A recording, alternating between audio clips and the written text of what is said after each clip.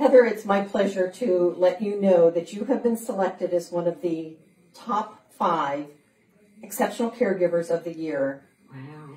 And you will you were selected by um, our corporate offices, and you will be attending our conference in May, and you will have an all expense paid vacation, and go to our award ceremony um, in San Antonio, Texas. Oh, how exciting. I'm very proud to present this to you, Thank you. and you deserve it so much.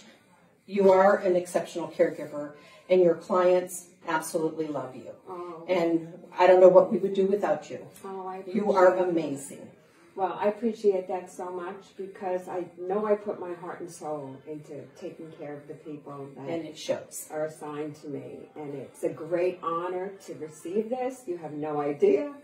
And also to work for you because you recognize that your caregivers need some kind of, you know, little boost now and then. We And try. You're, you're up on things, and that is very important because it's nice to be appreciated. Thank you. So I trust, you know, in, in everything working out for San Antonio, and I'm very excited to go. Thank you. God bless Thank you.